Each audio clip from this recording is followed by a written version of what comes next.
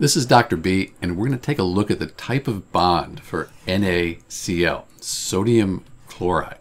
So the first thing that we can do is we can find sodium on the periodic table and then chlorine. Right here is sodium, and sodium, that's a metal. Over here is chlorine. Chlorine, that's a nonmetal. When we have a metal plus a nonmetal, that's going to be ionic. So we'll have an ionic compound. So already we know we have an ionic compound. There's an ionic bond between the Na and the Cl. So type of compound or type of bond for NaCl, that's ionic. Let's take a look at how that happens though. Note that sodium, that's atomic number 11, and chlorine is 17. So sodium has 11 protons, and because these elements are all neutral, there's no negative or positive written after them, 11 electrons. Sodium has 11 electrons, Chlorine has 17.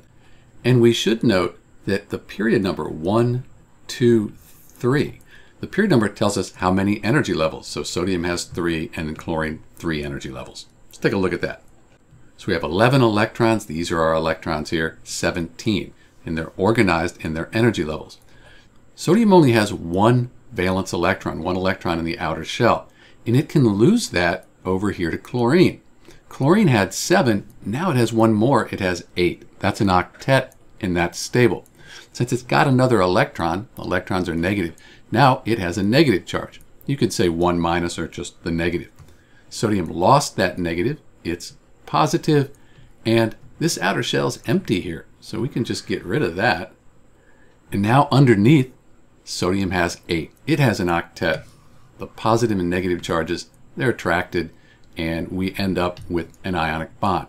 And often you'll see when this is drawn as a Lewis structure, there'll be brackets. And that helps show that the electron now is lost. It's over here. So that's it. NaCl is an ionic bond because it's made of a metal and a nonmetal. This is Dr. B. Thanks for watching.